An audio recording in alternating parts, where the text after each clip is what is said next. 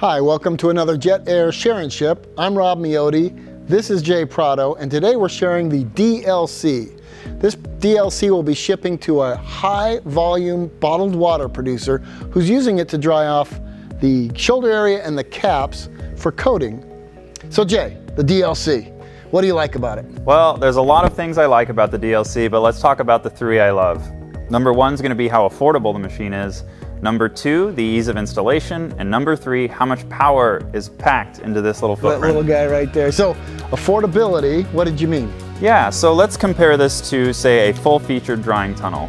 This machine is going to be 50% less. Oh my gosh. And then you bring it down to, say, a mid-tier solution, you're still 35% less. That's a lot of saving. Yeah. Okay, then, then you mentioned power. Mm-hmm. There's a lot of power here. Within this footprint, we can dry up to 1,000 containers per minute, and the air components are going to be producing 1,100 CFM. Okay, 1,000 containers per minute in this amount of space? Yeah. Where's all that air coming from? So that air is going to come from our enclosure EMV. Now the DL-C can be paired with any of our enclosures. If you want to check those out, they're at jetairtech.com. We got a lot of great videos other than that on there as well. All right. Yeah, so one of the features I did want to quickly mention was the enclosure and DL-C have one point of connection. It's really nice and easy to install. So easy to install was one of the other points you mentioned. Tell us about it.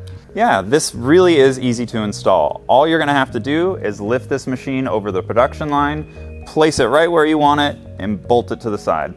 That is easy. That's the whole thing. All right, well thank you Jay, and thank you for watching another JetAir Sharing Ship.